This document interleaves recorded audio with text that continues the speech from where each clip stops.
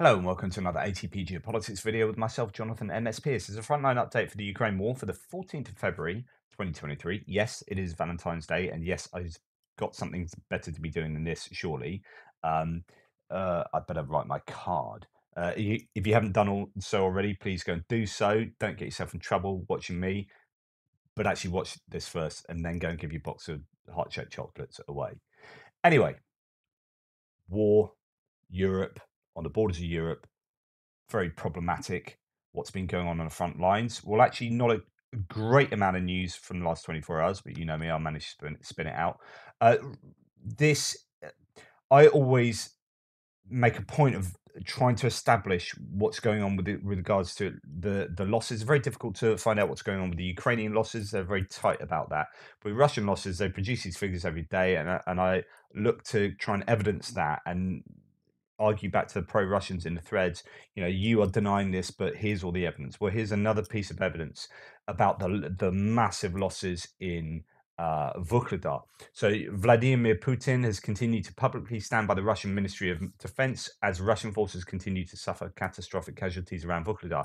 He wouldn't need to say stuff like this unless there was a problem there. So Putin commented on Russia's state TV show uh, show recorded on February the 9th and broadcast on 12th that the Russian naval infantry is working as it should right now and that the Pacific and Northern fleets are heroically fighting. Putin likely deliberately play, praised his Pacific and Northern fleets against a backdrop of highly published and substantial losses to mechanized elements of the 155th uh, Naval Infantry Brigade of the Pacific Fleet in their assault on Vuhledar. The Russian MOD has been silent regarding Russian losses there, and Putin's comments follow Russian Defense Minister Sergei Shoigu's uh, statement on February the 7th that Russian forces are successfully developing an offensive in Vuhledar, which is, of course, complete nonsense. Uh, Putin is likely deliberately doubling down on the Russian MOD's extremely overly optimistic description of the Vuhledar front line to sustain the narrative of an, of an, imminent and sweeping major Russian offensive in Donetsk Oblast. Putin is also likely refraining from siding with critical milbloggers who have been increasingly accusing the Russian MOD and military command of failing to learn from their previous mistakes when conducting mechanized drives. Russian military has ha, has also been accumulating in Mariupol. So these indicators could suggest that the forces are preparing for some kind of commitment to Vuhledar. Um, but on the flip side of that, the Russian military's use of mobilized personnel as replacements in battle damaged units is unlikely to generate sufficient offensive capabilities for a large scale and rapid mechanized advance. All these different claims at the moment as to what is going on with regard to whether there is going to be a big advance or not, or big offensive or not in, uh, well, at any one place uh, around the front lines. Uh, we have had announcements from the Ukrainian intelligence that actually uh, things aren't looking as good for the Russians as maybe they say. So they had originally said there's going to be a huge offensive. Then the Ukrainian intelligence said we don't actually think they've got the capacity for a huge offensive. However, then today, uh, Serhiy Haidai has said um, in his daily update that uh, we should expect massive attacks by the Russian Russians in the Luhansk region. Uh, and you know we are seeing definitely build up of troops in the Luhansk re- region. We are seeing offensives in this northeastern sector. Kupiansk is pretty hot uh, around Kreminna. There's a lot of activity. Bilorivka just down south of there, and then towards Seversk, and then you've got, of course, Bakhmut. Um, so lots of activity, uh, and there could be a massive attack, but it's whether that is as as huge as the uh, such an offensive should be, given it's the second greatest army in the world, supposedly. Uh, Tendar is a little sort of tongue in cheek. Well, not tongue in cheek. This is a perfectly valid point. If, so, if I was to summarize all the Russian activities of the last four weeks, I come to the following numbers of conquered villages in the following areas from north to south: Kupiansk one, Svatova zero, Kreminna zero to one, maybe Dobrova, Bakhmut six, Avdiivka 0, Mariinka 0, Vuhledar 0, Orikhiv 0, Kamianska 0. There you go. Uh, yeah, it, it, perspective, the point of saying that is given all this talk about massive Russian offensives and given the last really month of activity, Russia has achieved pretty much nothing uh, at the moment. Uh, meanwhile, the Ukrainians are building up their offensive capabilities for a counterattack. They are training, they're getting kit in. Uh, is is there an asymmetry there? Will Russia get any kind of kit to be able to produce uh, an offensive that's meaningful of their own. Or if we go to the northeastern uh, sector and we go to Kupiansk area, Kupiansk under you know quite a bit of artillery fire, but there's you know not a lot to report particularly from here. Rybar says you know very little about the Starobilsk direction, as they call it. Positional battles and artillery duels continue along the entire front line. Situation is complicated by extensive mining um, which is what I've been talking about this last week. The enemy is forming reserves in Lipchanivka to reinforce its capabilities in the Kupiansk and Liman directions. Uh, Poulet has pretty much the same map uh, as we've seen the last few days. They are pushing in Shranikivka uh, and to uh, around Liman Pershi and possibly around Sinkivka as well. Uh, Defmon says the Ukrainians repulsed an attack by the 138th um, rifle brigade in the area of Khrenikivka. You, Russians are trying to push the Ukrainians out of the salient al- along the Oskil River north to Kupiansk. So basically, this area here, that's what he means. This this area here between the Oskil River the, and the Russian front line, you've got this kind of group of of Ukrainian defenders, uh, and they are being sort of pummeled there. We're keeping the Ukrainian bridgehead in artillery range is essential for Russians to prevent the AFU from developing an offensive in this area. Uh, I don't know whether Ukrainians have that in mind, an offensive at some point, but this looks to be one of the areas of Russian offensive at the moment. Um, and uh, other than that, not really much detail. The ISW says, if we go down to what they say about this area. Russian ground attacks near Khrenikivka.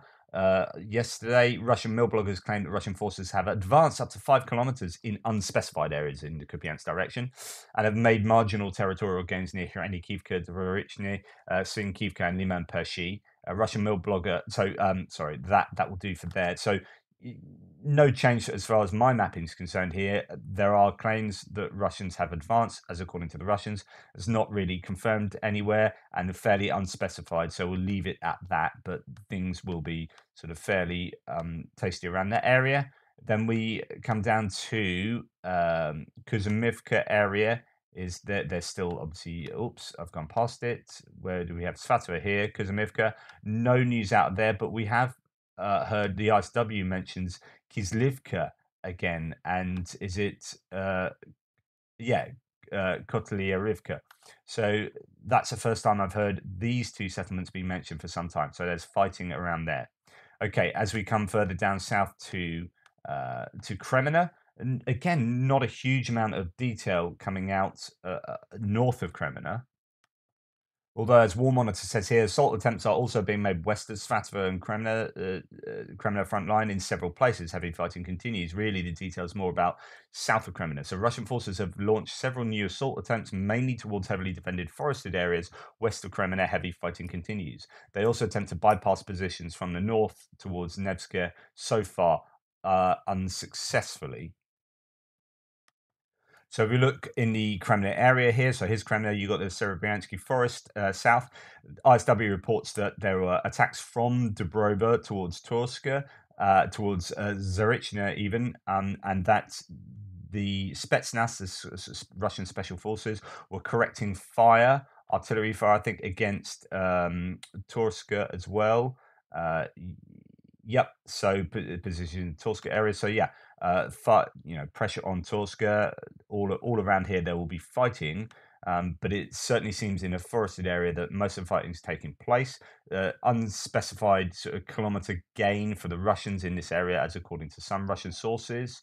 Uh, Rybar says uh, not really not a lot actually. So Luhansk People's Republic, Ukrainian formations fired HIMARS rockets to residential buildings, civilian structure in the town of Stakhanov, and that's basically all they say about about that that line there. So that's fascinating. Um, Poulet Volant's map uh, doesn't look. Oh no, it doesn't even do. Sorry, it doesn't do a map of the Kreminna uh, Svatova area. Uh, so again, you know that tells you that it's kind of fairly stable.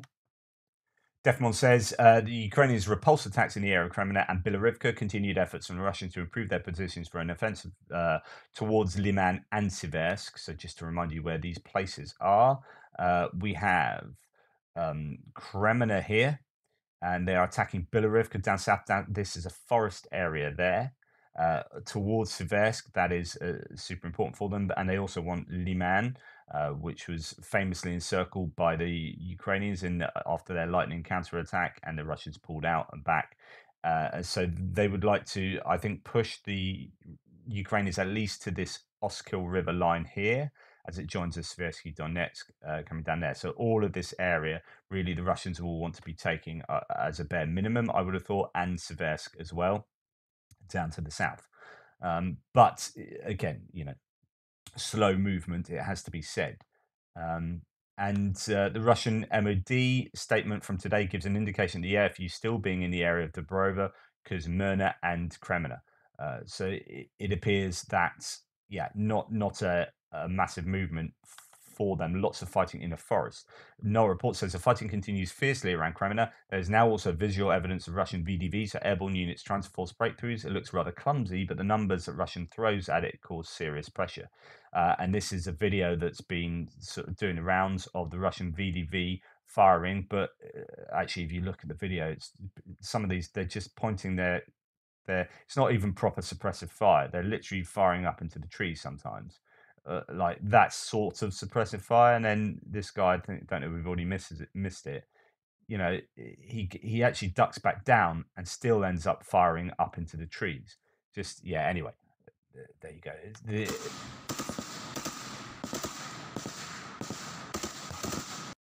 uh, yeah, that, that is a video of them fighting in the forest. So there's um, intense fighting going on in the forest area, and it seems to be a lot of uh, a lot of concentration on Bilorivka from the from the Russians because, as I keep saying, you know, Bilorivka is is a bit of a key towards getting Seversk. Obviously, you know, the next stop Seversk there, and this is holding out there. Uh, Bilorivka it's been flattened, but but I think the geography allows uh, Ukraine to uh, have a, a, little bit of sort of an advantage there, perhaps. Um, anyway, as we come down to uh, Bakhmut, we have all the details on Bakhmut. So as we come to look at the Bakhmut area, uh, which you'll be fairly familiar with now, we have the Bakhmut main town being encircled. We have this uh, fighting going on to the north as they try to pu- push up towards Seversk from the Fedorovka Rosalivka area. There is basically repulse fighting, uh, or there's fighting all over the. So every word that you can see on the front line, every name there, they'll be fighting around there. Vasyukivka, Fedorivka, Rosalivka, um, and then obviously Krasnohora area. So Krasnohora has definitely been been taken. There's uh, plenty of video footage now to suggest that is the case. So video footage of all over uh, Wagner all over Krasnohora because Cher, Cher, uh, um, what's his name? Cherevati did say yes, yesterday, weirdly, that they're still fighting in Krasnohora, but actually, pro Ukrainian sources are like, no, there's not. Uh, literally, we got all the geolocated footage you need to say that Russia have taken that. But what's interesting, so Ukrainian Eastern Group of Forces spokesperson Cherevati did say on February the 12th, so again, this is like two days back now, that the uh, forces engage in 19 combat clashes over the course of the day and fighting uh, occurring here, there, and everywhere. Now, that's interesting because previously he'd said, I think we'd even had in the 40s, uh, certainly in the 30s. In other words, if he's reporting fewer clashes, I don't know if that says that, that it's sort of calming down a little bit in the Bakhmut area, but you know that's just going on those numbers he, he he presents there but it's certainly the last couple of days has seemed a little bit quieter i've not been hearing anything about the eastern side of um, Bakhmut, really, uh, and very quiet around the Opitny area. So, eh, you know, it, it, could well be that that number does represent some kind of of calming. Um, and this is also interesting. The Russian MOD confirmed the capture of Krasnohora and stated that volunteers of assault detachments took the settlement. They are, uh, as I reported yesterday, they are now refusing to mention Wagner or um, Prigozhin eh, in their in any sort of state. I don't think Russian state television is even allowed to mention them. Uh, I think there's a kind of ruling now. So yeah, you, that's why you get these kind of euphemisms. Uh, Rybar, very very little report. In fact, Rybar's reporting yesterday is very skimpy on everything. Uh, Soledar direction following the liberation of Krasnohora, Wagner assault units continue to clear the area and advance near Paraskovivka to the southwest of Bakhmut. Wagner entered Budanivka, destroying a stronghold and advancing through Mariupolsky Cemetery. Uh, we'll come on to that. Um, uh, the Poulet Volant's map here shows pretty much the same sort of uh, mapping as yesterday. That they're pushing towards this uh, highway near Paraskovivka to the uh, west of Paraskovivka, but they Poulet-Volant doesn't have um, them reaching the highway there. Uh, no report says uh, north of Bakhmut, eh, um, Krasnohora is obviously you know taken. Uh, the assault from two sides on Paraskovivka is ongoing. Uh, and uh, let's go to see what Defmon says. So he talks about that M03 road. I think the positions along the M03 are very hard for the Russians to, sorry, for the Ukrainians to hold, and the Russians, uh, sorry, are very hard to hold for Russia, and even harder to supply. So that's interesting. So that's um, M03. Is that? Let's have a look. Yes, so that is this one here. Uh, coming in. It's E40 on, on the Google Maps, but that's the M03. So he's saying that it's difficult for them to hold. Poulet-Volant has the Russians further back there uh, as they're trying to sort of move on Berkivka. But Paraskovivka is holding out. And the question is, how long do they hold out? How long should they hold out? but someone was saying yesterday in the threads actually by the Ukrainians being there, it enables their mortar teams to remain there and to, to be able to hit all places around here. So although it's very risky sitting in that kind of uh, little salient where they can be cut off, they can also hit hit the Russians in, in a number of areas. And I guess the likewise, you know, this area for the Russians is quite vulnerable because actually they are surrounded by Ukrainians so it's not it's not always that you know making these bridgeheads is a is a good thing because you know you are vulnerable from multiple sides but yes certainly fighting it in Paraskovivka is uh, pretty intense as you can imagine uh, and then as we uh, come down to uh, let's have a look to the south what uh, Rybar was saying is that the cemetery I, I've not changed my map here, but Rybar has the Russians,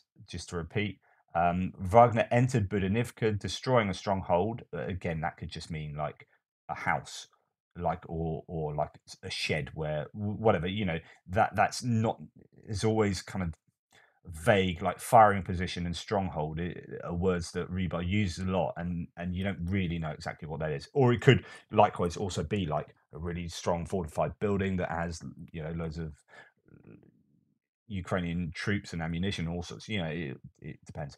Um, and advancing through Mariupolska Cemetery. Uh, so they eh, they uh, Rybar has the Russians advancing through here. I've got no confirmation of that from anywhere else, so I'm just going to keep it as it is. But it could well be that this might be an area that the Russians are um, advancing in. And then as we come down eh, to this Ivaniska area, uh, interesting that the Ukrainians may well have pushed the Russians back.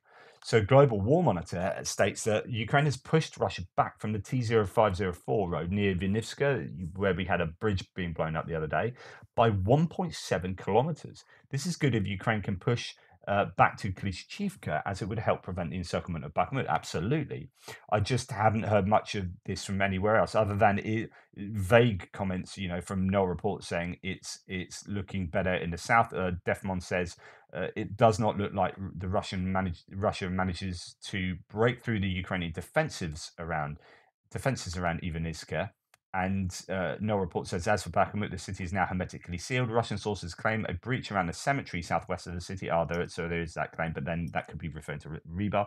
As far as I know, the situation there has not changed, but it is difficult. The situation has slightly improved southwest of Ivaniska near the forest. So going back to this uh, map from Global War Mon- Monitor, there there are indicate, indications that here, this is a forested area there, southwest of Ivaniska, uh, it, it could be that the Russians have been pushed back from the road, indeed, as that map suggests, by 1.7 kilometers, which is, you know, fairly useful amount of uh, a distance, really. Um, so there's 1.7 kilometers. It could be that, that the Russians are now back there, and, and that looks likely given there's a couple of sources suggesting that. Uh, but I'll, I'll leave my map as it, is, uh, as it is there, which is pretty confusing looking there, and say that it is fairly stable in in Bakhmut, which is good news for the Ukrainians rather than for the Russians. That kind of stability allows Ukraine to fix the Russians in place, to attrit the forces, uh, and to, to hold out for as long as possible while the the because the Ukrainians are playing for time here to some degree. They're waiting for their forces to get trained up, waiting for the Western uh, equipment to come in, and then have their counter offensive. And if they can fix the Russians here for as long as possible in that calculation of of troops being lost for either side, uh, it, it, it is it is worthwhile. It appears for the Ukrainians to do so.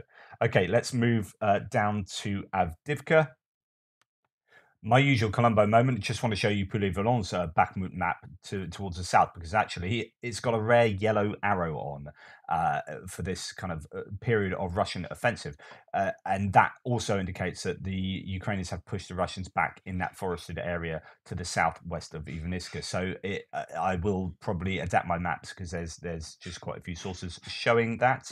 Um, and then, uh, as I said, we come out to Avdiivka uh, or I've already done that here actually because uh, I've been messing around behind the scenes. So Avdiivka has not shown, there's not been too much activity. So just to remind you where Avdiivka is. So we've got Bakhmut here. We come down the Donetsk front line, past Torets, past New York, uh, and we hit Avdiivka, which is in, partially encircled in the same way that Bakhmut is. But there's this uh, town just north there called Novobakhmutivka, and Novobakhmutivka I had under Ukrainian control actually completely. Uh, but it turns out, well, at least according to Suriyak maps, that uh, it, it, appears that it was under partially under Russian control, half and half. I didn't realize that, or at least the, my mapping hadn't reflected that. Uh, but according to Suriyak maps, pro pro Russian mapper, they say that the Russians have advanced in Novobakhmutivka and now control al- almost all of it. Uh, situation north of the Russian army and DPR forces restarted advances in Novobakhmutivka town. Most of the urban area is already under control of Russians, while the western farms are still under the control, control of the Ukrainian army. So uh, that um, is uh, that is certainly uh, an interesting bit of movement there that I hadn't really been on top of previously. I'll keep an eye on that from now on. But other than that, there's just footage of trenches being, um, t- uh, you know, artillery shelled by the Russians here. That you got Ukrainian trenches, you know, pretty much close to Vodyany, just north of Vodyany in this area.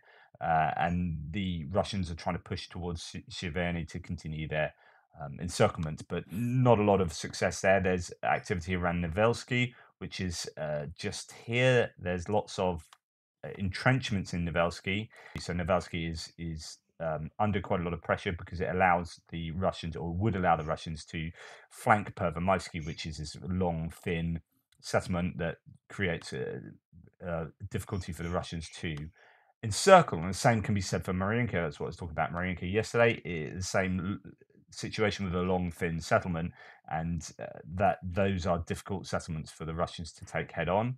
So they need to encircle them, but it's difficult to do so because even though these places look like open fields, they end up being quite difficult because defenses have been built in there over the years. Is one of the few sources that explicitly mem- mentions Mariinka. Fighting continues in Mariinka, west of Druzhba Avenue.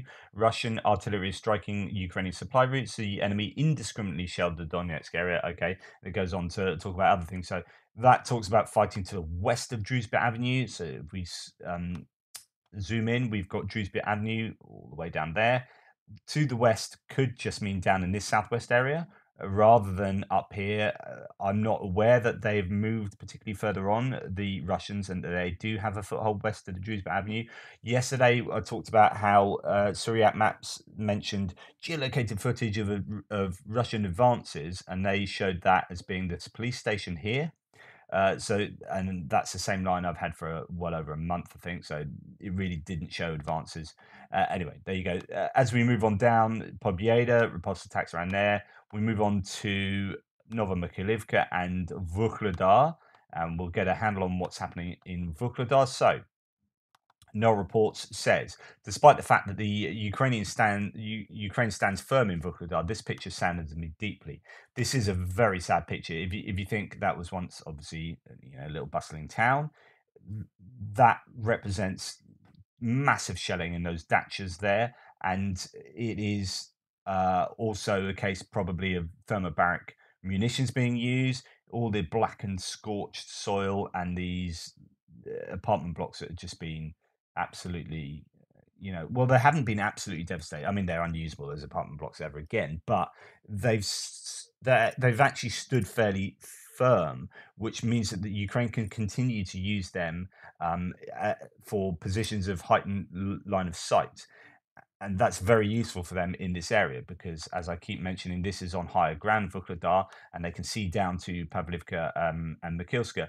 If you if you look at the buildings in Mariinka, they have basically been reduced to rubble, whereas these haven't. These have all these kind of uh, old school cement uh, apartment blocks that are obviously fairly well reinforced, and they have stood the test of of time and war and are still standing fairly strong. So that's been really useful for the uh, Ukrainians. Tatarigami, just a brief update uh, because it seems to have calmed down a little bit in Vuhledar. The enemy continues occasional assaults on the Vuhledar area with no results.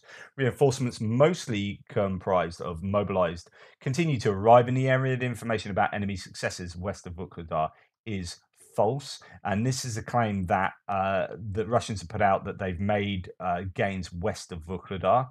Uh, there are rumors that Russia has made territorial gains around Vuhledar. This is incorrect, says Noel Reports pro pro Ukrainian source. Also, there is no talk of a renewed Russian assault yet in, to Vuhledar after the earlier disgrace. However, there is renewed troop buildup reported by multiple sources. There was a HIMARS hit in the area that took out um, a commander, and this is from Alexander Khodakovsky, who's a, a Russian source. Uh, so, uh, yeah, that's uh, pretty significant there. The HIMARS are still operational um, in the in the area, and the just to go to ISW, uh, see what they have to say. Um, uh, so it, it says here uh, geolocated footage um, on February the 12th posted shows Russian tanks hitting mines east of Vuhledar, which I showed you some of them. Uh, no confirmed attacks from the general staff yesterday, but I think there were skirmishes. Commander of the DNR Vostok, this is what Defmon was referring to, battalion, Alexander Khodakovsky, claimed on February the 13th that uh, Ukrainian HIMARS strike uh, on hit of Vostok headquarters, killing the headquarters commander, but the Russian command and control in the Vuhledar area will not be impacted by the strike because of duplicated communication channels. But that's still obviously going to be a bit of, of a problem. Okay, in the Vuhledar area, this is Poulet Volant's map there. Pavlivka pushes from sort of Pavlivka to the west of um.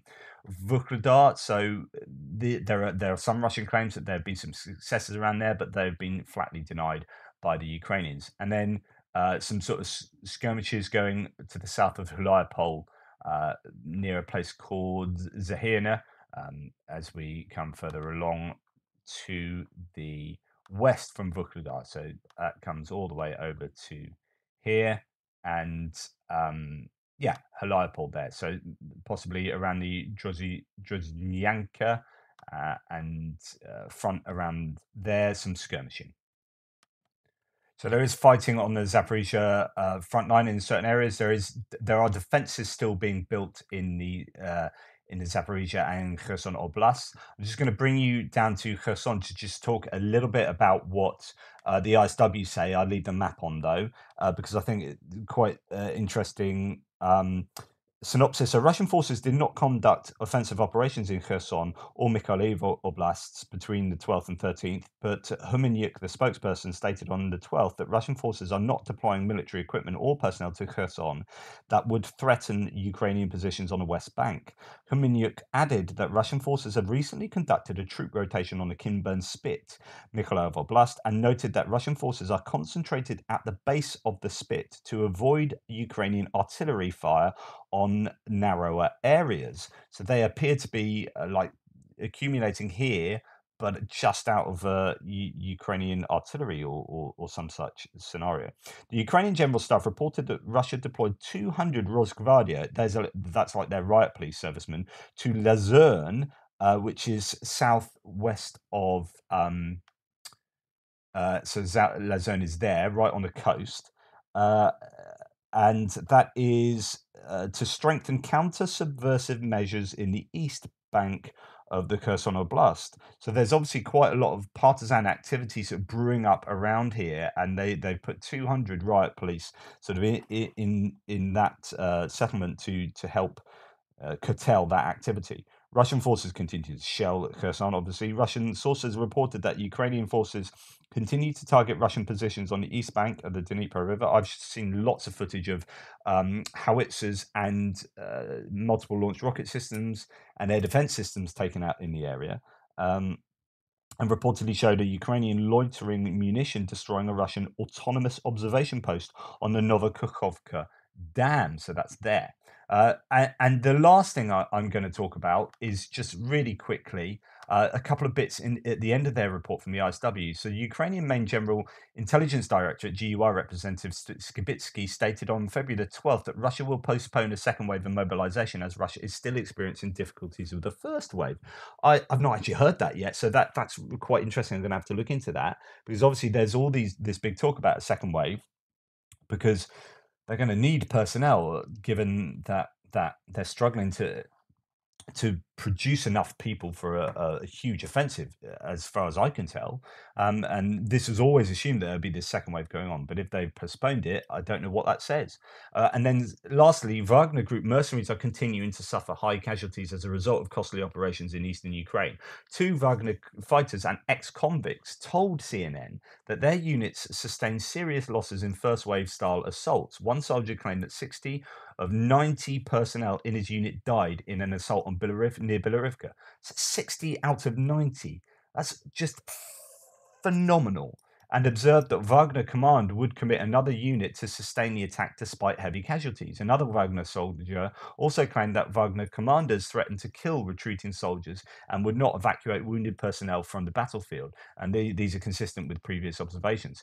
Now that's very interesting. We there's another uh, bit of footage. I've not watched it. I don't want to watch it of another Wagner um, personnel, another Wagner member being sledgehammered to death, uh, showing as a kind of sign to the rest of Wagner. You know, this is what happens if you if you desert or refuse.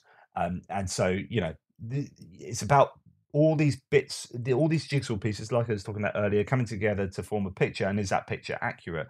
We keep hearing thing, things that, that point towards the, the, the loss figures that the Ukrainians produce of the Russians on a daily basis being fairly accurate. Uh, and this this kind of builds into that. Um, anyway, that that's but of course that's not to say that the Ukrainians aren't suffering hugely as well. That there aren't you know drone attacks, although by all accounts, there are fewer drone um, of these kind of IEDs from from dropped from drones uh, attacks happening on uh, Ukrainians. Uh, that's according to first-hand reports, uh, and I'll play you some of that in the extra later today. Um, but there there is still, you know, loitering munitions are a problem. Lancet drones are a problem. Uh, but I just yeah, I want want you to be aware that there will be footage or from Russian sources of of you know problems happening behind Ukrainian lines as well, of course. Um, anyway, that's my frontline update. Please like, subscribe, and share. Thank you so much for supporting the channel. All the ways you can support me in the description below. Uh, Toodle pips, and I'll try and speak to you later.